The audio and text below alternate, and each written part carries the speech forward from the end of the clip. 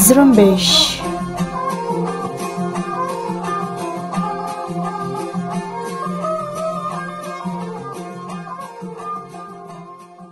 ये रेडियो जुरुम्बिश उर्दू की आवाज़ है आज पीर का दिन 19 अप्रैल और साल 2021 है और मैं हूँ आपका मेज़बान दोस्तेन मुराद बलोच।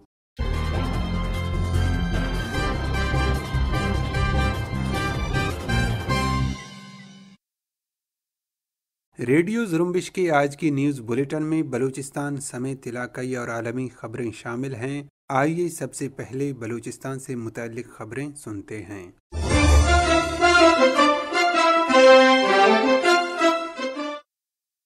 हफ़्ता और इतवार के दरमियानी शब खारान में नामालूम मुसल्ह अफराद ने डिप्टी कमिश्नर के घर पर दस्ती बम से हमला किया है।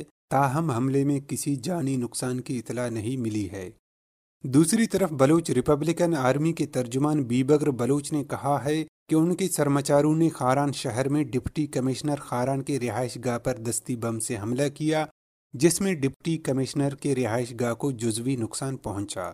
बीबकर बलूच के मुताबिक ये हमला मौजूदा डिप्टी कमिश्नर खारान अब्दुलसलाम अचकजई के पाकिस्तानी फौज के साथ खसूसी गठजोड़ के तनाजुर में किया गया, क्योंकि मजकूर डीसी इलाके में एफसी और खुफिया इदारों के कहने पर अपने अख्तियार का नाजायज़ फ़ायदा उठाकर इलाके में अपने मातहत बलूच मुलाजमीन को तंग करने के अलावा उन्हें डरा धमका कर पाकिस्तान के मुनद करदा साजिशी प्रोग्राम में शामिल करता है। काबिज पाकिस्तानी फौज ने 19 रोज कबल दो नौजवानों को गिरफ़्तार करके लापता कर दिया है। रेडियो जुरम्बिश को मिलने वाली इतलात के मुताबिक केज के इलाके शाहरक से काबिज पाकिस्तानी फोर्सेज ने दो नौजवानों, फैसल वलद अली मोहम्मद और सुहेल वलद रफ़ी को गिरफ़्तार करके नामालूम मकाम पर मुंतकिल कर दिया है। ख़ानदानी ज़रा के मुताबिक दोनों नौजवानों को 19 रोज़ कबल 31 मार्च के दोपहर पाकिस्तानी फ़ौज ने एक छापे के दौरान गिरफ़्तार करके अपने हमरा ले गए। मगरबी बलूचिस्तान के शहर सरावान में मशरकी बलूचिस्तान से ताल्लुक़ रखने वाले दो अफराद को घात लगाकर कत्ल कर दिया गया है। कत्ल होने वाले अफराद की शनाख्त नूरबख्श वलद दरवेश और साबिर वलद शफ़ी मोहम्मद के नामून से हुई है, जो मशरकी बलूचिस्तान में झाऊ आवारान के रहने वाले हैं। रेडियो जुरम्बिश को मिलने वाली इतलात के मुताबिक मकतूलैन सरावान में अपने रिश्तेदारों से मिलने आए थे, जिन्हें टारगेट किलिंग का निशाना बनाया गया। वाज रहे मगरबी बलूचिस्तान और अफ़गानिस्तान में मशरकी बलूचिस्तान से ताल्लुक़ रखने वाले अफराद को पाकिस्तानी फ़ौज की ईमा पर किराए के कातिल एक तसलसल के साथ कत्ल कर रहे हैं। तुर्बत में बार्डर ट्रेड यूनियन के अहदेदारान ने प्रेस कॉन्फ्रेंस करते हुए कहा है कि अगर 23 अप्रैल तक बार्डर पर पाबंदियाँ नहीं हटाई गई तो डी बलूच पर मसले के हल तक धरना दिया जाएगा। उन्होंने कहा कि हज़ारों लोग बॉर्डर पर फंसे हुए हैं, जहाँ वो भूख और प्यास से मर रहे हैं। अगर मसला हल नहीं हुआ तो मकरान में माशी तबाही फैल जाएगी। बॉर्डर ट्रेड यूनियन के नौ मुंतखब अहदेदारा ने प्रेस क्लब में बॉर्डर की सूरत हाल पर तफसीली प्रेस कॉन्फ्रेंस में कहा कि माजी में लोगों पर सफरी और तजारती सख्तियाँ नहीं थीं, लेकिन गुज्त चंद महीनों से बॉर्डर पर बाढ़ लगाकर सफरी और तजारती पाबंदियाँ आयद की गई हैं, जिससे सूरत हाल अबतर हो गई है। उन्होंने कहा, अब सूरत हाल ये है कि 25-25 दिनों तक बॉर्डर पर हज़ारों की तादाद में बलूचिस्तान के मुख्तलिफ़ इलाकों से ताल्लुक़ रखने वाले लोग फंसे हुए हैं। न उस तरफ़ जा सकते हैं, न इस तरफ़ आ सकते हैं। वहाँ फंसे हुए लोग भूख, प्यास और गर्मी की वजह से मर रहे हैं। उन्होंने कहा कि हमने अब तक चार लाशें दफनाई हैं, मजीद लाशें उठाने की मुतहमल नहीं हो सकते। अगर बॉर्डर की सूरत हाल यही रही तो हमारा हाल भी सूडान और सोमालिया की तरह होगा और पूरे बलूचिस्तान में माशी बदहाली फैल जाएगी। उन्होंने हुक्म बाला से अपील की कि बॉर्डर पर आम लोगों की रसाई मुमकिन बनाया जाए ताकि ताजिर बिरादरी और मजदूर ज़राए माश तलाश करके अपने बच्चों की किफ़ालत कर सकें। दूसरी तरफ़ तुर्बत सिविल सोसाइटी के तर्जुमान ने ईरानी बॉर्डर की बंदिश और निवानो जामरान समेत मुख्तलिफ़ इलाकों में फंसे हज़ारों गाड़ियों और ड्राइवरों की हालत जार पर गहरी तशवीश का इजहार करते हुए कठपुतली सूबाई हुकूमत से फौरी तौर पर बॉर्डर का मसला इंसानी हमदर्दी की बुनियाद पर हल करने का मुतालबा किया है। इस हवाले से सिविल सोसाइटी के तर्जुमान का कहना था कि बॉर्डर की बंदिश कारोबार पर गैर एलानिया पाबंदी के बायस निवानो जामरान में अब तक तीन ड्राइवर भूख और प्यास की शिद्दत से हलाक होने की इतला मिली है। और ये मुसद्दिका बात है कि ये तीनों ड्राइवर बॉर्डर खोलने के इंतज़ार में कई दिनों की भूख और प्यास बर्दाश्त करके हलाक हो गए हैं, जो अफसोस का बायस है। इसी तरह तुरबा से ताल्लुक़ रखने वाले नौजवान क्रिकेटर मोहम्मद नूरा ने अपने फेस पर अपने भाई की एक तस्वीर शाये की है, जो बलूचिस्तान बॉर्डर पर मौजूद बहरानी सूरत हाल की अक्सी करती है। मोहम्मद नूरा ने अपने भाई की तस्वीर पोस्ट करके लिखा कि गुजशत अठारह दिन से उनके भाई को पंजगूर परू में एफ़ सी विंग नंबर एक सौ सैंतीस के अहलकारों ने रोका है। मेरे भाई के पास न रोटी है और न पानी। उन्होंने कहा कि अगर हम करीब जाएँ तो एफ़ सी अहलकार हमारी गाड़ियों के शीशियों को तोड़ते हैं और हम पर लाठी चार्ज करते हैं। मोहम्मद नूरा ने कहा कि उन्होंने केज के बासर लोगों से इस मामले पर बात की है, लेकिन उनकी बात कोई नहीं सुन रहा। हमारे रीजनल रिपोर्टर ने ताज़ा तरीन सूरत हाल जानने के लिए मोहम्मद नूरा से रबता करने की कोशिश की, लेकिन उनसे रबता नहीं हो सका। चमन में डाकुओं की फायरिंग से फ़र्स्ट क्लास क्रिकेटर हलाक हो गया है। हलाक होने वाले नौजवान क्रिकेटर की शनाख्त मोहम्मद के नाम से हुई है। मकामी जरा के मुताबिक डाकू ने मकतूल को उस वक्त कत्ल कर दिया जब वो मोटरसाइकिल पर घर जा रहे थे कि रास्ते में डाकू ने उसे लूटने की कोशिश की। तो उन्होंने मजाहिमत की, जिस पर डाकू ने उसे फायरिंग करके कत्ल कर दिया। कोयटा सरियाब में केची बे के मकाम पर फायरिंग के नतीजे में मुजफ्फर अहमद नामी शख्स जख्मी हुआ है।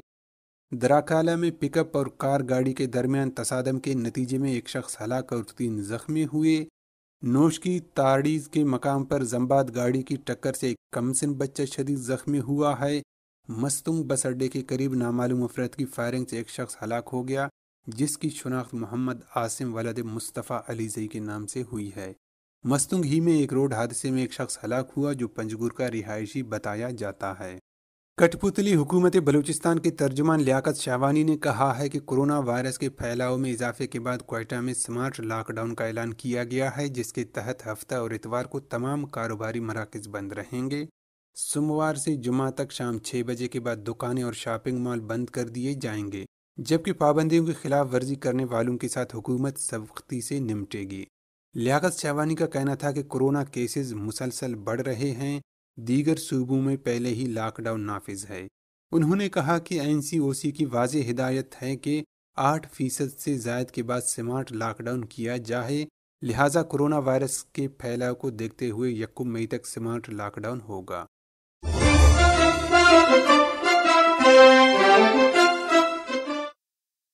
ये थी बलूचिस्तान से मुतल खबरें। अब इलाकई और आलमी खबरें पेश करेंगे खलील वाडेला।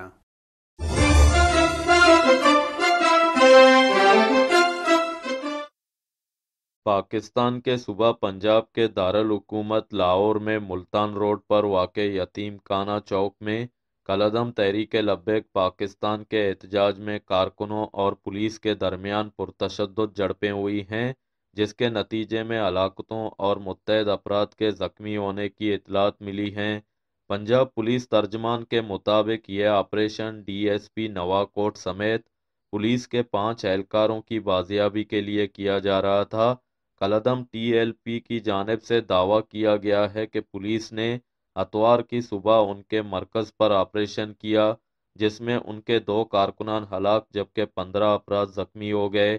कलदम, तहरीक, लब्बैक, पाकिस्तान के मरकज़ी शरा के रहनमा अल्लामा शफीक एमनी की जानब से जारी एक बयान में कहा गया है कि वो अपनी हलाक कारकुनान की तदफीन उस वक्त तक नहीं करेंगे जब तक फ्रांस के सफ़ीर को मुल्क से निकाल नहीं दिया जाता।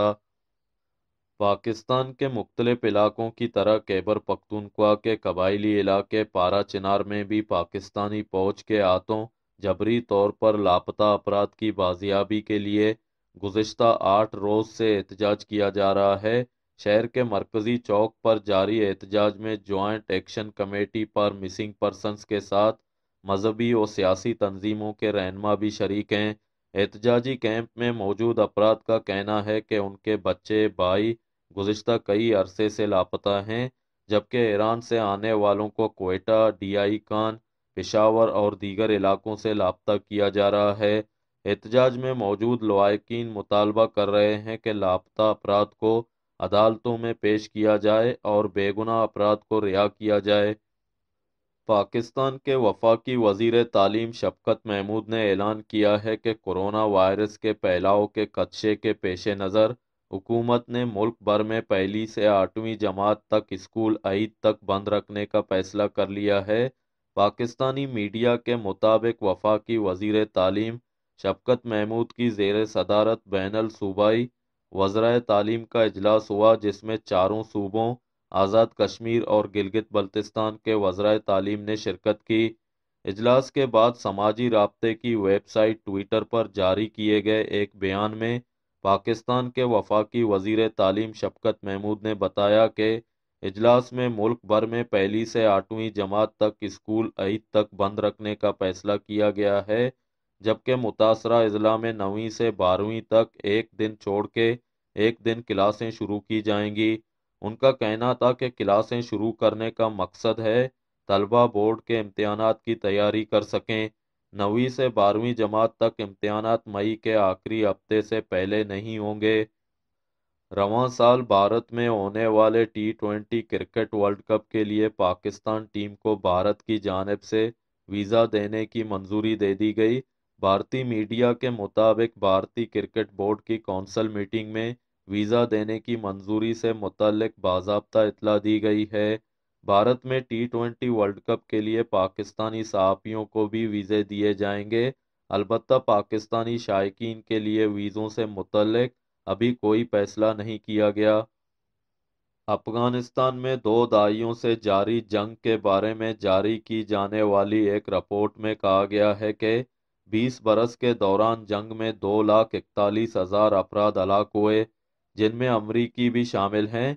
तहकीक के मुताबिक ये अमवात बर रास्त उस जंग की वजह से हुई, जिनमें इकहत्तर हज़ार तीन सौ चवालीस आम शहरी, दो हज़ार चार सौ बयालीस अमरीका के फौजी एहलकार अठहत्तर हज़ार तीन सौ चौदह अफगान सिक्योरिटी एहलकार और चौरासी हज़ार एक सौ इक्यानवे मुखालफिन की हलाकतें शामिल हैं।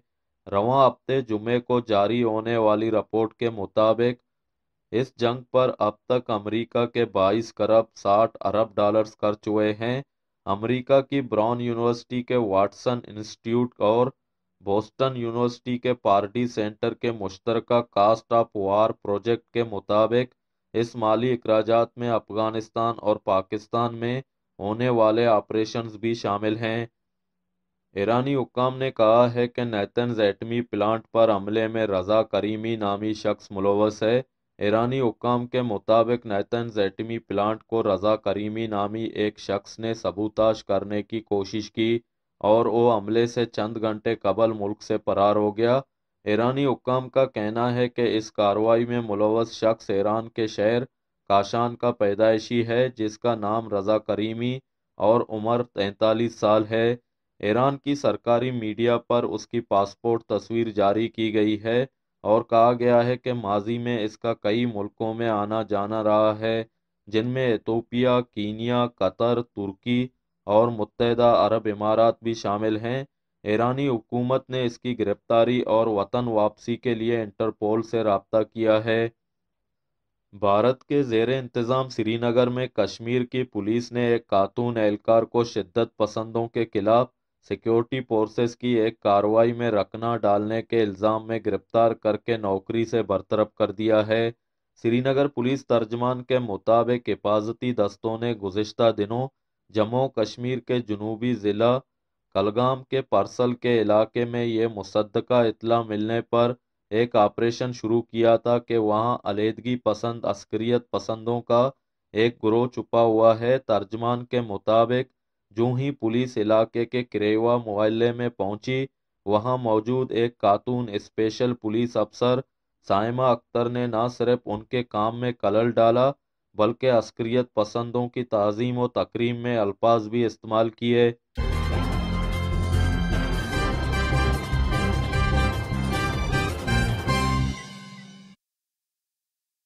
इसी के साथ ही आज के न्यूज़ बुलेटिन का अख्ताम होता है। दोस्तिन मुराद बलोच को इजाज़त दीजिए और मज़ीद ख़बरों के लिए विज़िट करते रहिए हमारी वेबसाइट जुरम्बिश डॉट कॉम को।